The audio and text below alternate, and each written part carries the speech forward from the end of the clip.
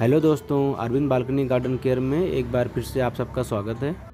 दोस्तों, आज का वीडियो गुलदाउदी के प्लांट का रिव्यू वीडियो है। तो सिलर डिटेल आप देख सकते हैं स्क्रीन पे, और ये पश्चिम बंगाल के सिलर हैं। पिछली बार भी मैंने इनसे कुछ प्लांट परचेज़ किए थे, बड़ी वैरायटी थी गुलदाउदी की, और मुझे काफ़ी हेल्थी प्लांट रिसीव हुए थे, और यही वजह है कि मैं इनसे दोबारा परचेज़ कर रहा हूँ। बट इस बार जो है, ये पम पम वरायटी है गुलदाउदी की। दोस्तों, आज की डेट है 18 मई 2024 और इन्होंने मुझे प्लांट सेंड किया है 15 मई को। तो दोस्तों, ये सैपलिंग मुझे डिस्पैच के तीन दिन बाद रिसीव हुई है। मैं यूपी श्रावस्ती से बिलोंग करता हूँ तो पश्चिम बंगाल से यूपी हमारे होम टाउन तक आने में पार्सल ने लगभग तीन दिन का समय लिया है और बहुत ही कम समय लिया है, अगर देखा जाए तो। और यही रीज़न है कि सारे के सारे प्लांट मुझे बहुत ही हेल्थी कंडीशन में रिसीव हुए हैं। कोई भी प्लांट टूटा नहीं है और ना ही कोई प्लांट सूखा है, ना किसी प्लांट में फंगल की कोई समस्या दिख रही है।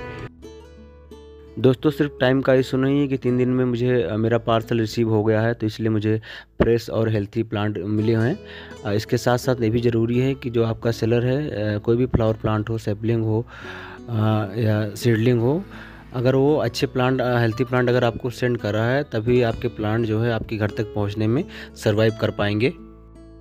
इसी के साथ साथ ये भी इम्पोर्टेंट है कि सेलर ने आपके पार्सल की पैकेजिंग कैसे की है, उसकी क्वालिटी क्या है। अगर पैकेजिंग अच्छे से होगी तो ही प्लांट आपको अच्छे से रिसीव हो पाएँगे फ्रेश और हेल्थी कंडीशन में। वरना चांस ये होता है कि वो प्लांट रास्ते में डेड हो जाए, क्योंकि पार्सल डिस्पैच के बाद से और पहुँचने तक लगभग पाँच से छः बार उसको जो है बार बार चेंज करना पड़ता है, बदलना पड़ता है। और इधर से उधर रखना पड़ता है तो ऐसे कंडीशन में चांस यही होता है कि प्लांट आपके जो है सर्वाइव ना कर पाएँ। और मेरे साथ ऐसा पहले हुआ भी है। आ, मैंने कुछ प्लांट अदर सेलर थे उनसे मैंने परचेज़ किया था। तो उन्होंने इतनी बेकार पैकेजिंग की कि वो जो है रास्ते में ही वो सारे के सारे प्लांट डेड हो गए। दोस्तों इतनी भयंकर गर्मी इसमें बढ़ रही है। टेम्परेचर हमारे यहाँ 40 से 45 के आसपास चल रहा है। और यही कंडीशन लगभग ऑल ओवर इंडिया का इसमें चल रहा है। टेम्परेचर बहुत है। तो ऐसे में अगर इतने फ्रेश और हेल्थी प्लांट अगर मुझे रिसीव्ड हुए हैं तो ये कहीं ना कहीं इसमें सेलर का बहुत बड़ा हाथ है, उसने बहुत ही अच्छे प्लांट मुझे भेजे और काफ़ी अच्छी पैकेजिंग की, तभी ये जो है प्लांट मुझे इतने अच्छी कंडीशन में रिसीव हुए हैं। दोस्तों पार्सल को ब्लू डार्ट सर्विस से भेजा गया था और ये अठारह तारीख को मॉर्निंग में साढ़े नौ बजे के आसपास रिसीव हुआ यहाँ सेंटर पे, जो हमारे यहाँ से लगभग 20 किलोमीटर की दूरी पे है। मैंने वहाँ के एक कर्मचारी से बात की, उनका नंबर मेरे पास था तो उन्होंने कहा कि पार्सल को आज हम नहीं भेज सकते हैं, क्योंकि आपके रूट पे जाने वाला कोई है नहीं। और अगले दिन संडे पड़ रहा था, वो लोग संडे को भी डिलीवरी नहीं करते हैं, क्योंकि पहले भी एक दो बार ऐसा हुआ है मेरे साथ। तो फिर मैं खुद जाकर मैंने वहाँ से पार्सल रिसीव कर लिया। तो दोस्तों, आप लोग भी अगर इस तरह की भी कंडीशन बन जाए तो आप लोग थोड़ी मेहनत करें और जाकर पार्सल अगर रिसीव कर लेंगे अपने आप तो चांस है कि आपका कोई प्लांट ख़राब नहीं होगा।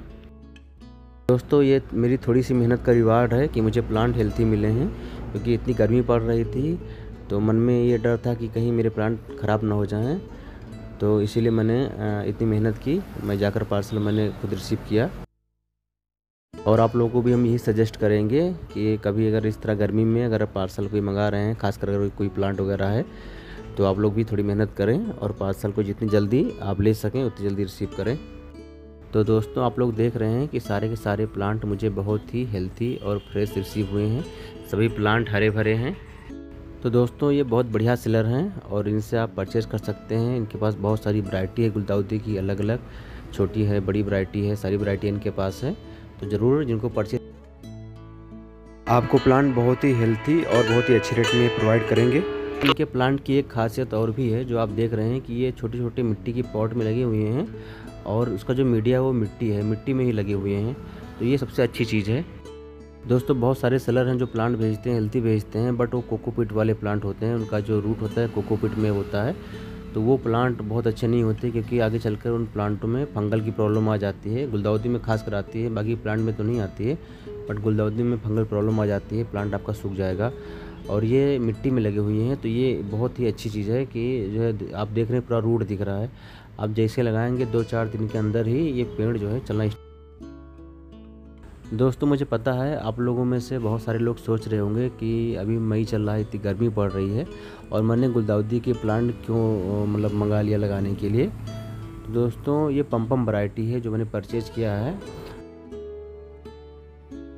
ज़्यादा पिंचिंग की आवश्यकता होती है। अगर आप जल्दी प्लांट लगाएँगे तो अधिक से अधिक पिंचिंग करेंगे और आपको अधिक से अधिक फ्लावरिंग मिलेगी। दोस्तों, आप लोग देख रहे हैं कि सारे के सारे प्लांट मैंने गमलों में शिफ्ट कर दिया है और ये मैंने रात में ही कर दिया था। एक बात ध्यान रखें, जब भी छोटे प्लांट गुलदाउदी के लगाएँ तो ज़्यादा खाद का उपयोग ना करें।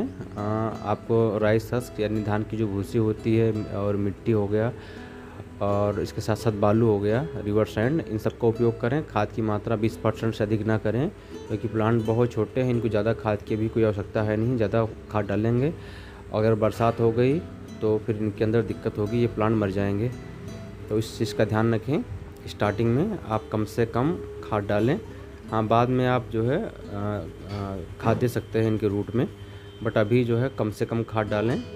और मिट्टी बहुत ही सॉफ्ट बने, बहुत ज़्यादा मतलब उसमें पानी इकट्ठा ना हो पाए। इसका ध्यान रखना पड़ेगा आप लोगों को।